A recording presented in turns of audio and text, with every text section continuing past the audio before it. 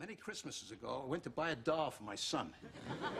I reached for the last one they had, but so did another man. As I rained blows upon him, I realized there had to be another way. What happened to the doll? It was destroyed. But out of that, a new holiday was born. A Festivus for the rest of us. That must have been some kind of doll. She was. And at the Festivus dinner, you gather your family around and tell them all the ways they have disappointed you over the past year. And is there a tree? No, instead there's a pole. Requires no decoration. I find tinsel distracting.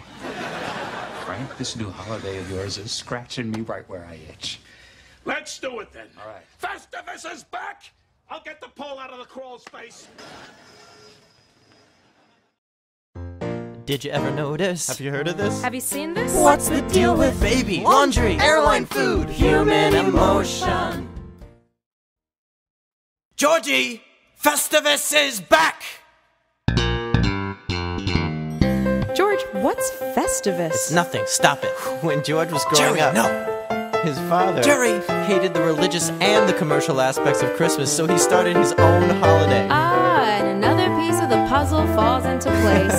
George, which day is Festivus? It's gotta be coming up. On December 23rd, you would remember if you'd heard that is the date we celebrate this great absurdity. No, not the birth of Eddie Vedder. That's good, but this is even better. Let's coalesce together close, no roasted bird or tree.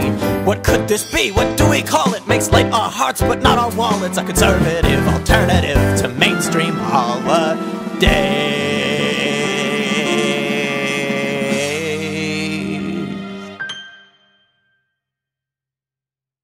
It's Frank Costanza's Festivus. You bring along a guest who must partake in the unrest with us, confess what blights their soul. So have a blessed Festivus, invented by the stressed and fussed, that once a year the best of us could raise a metal pole.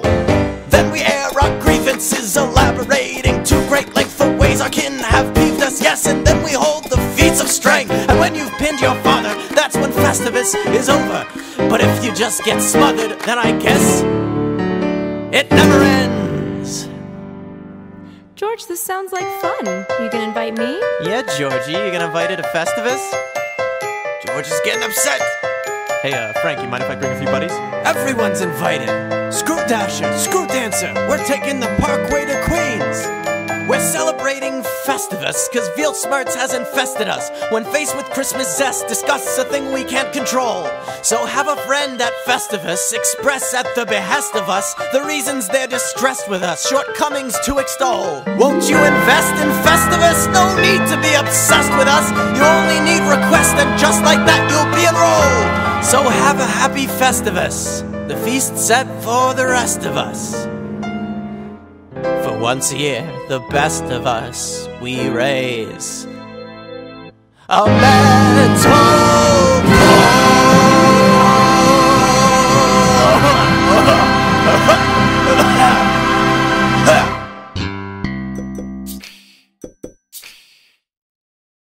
Thank.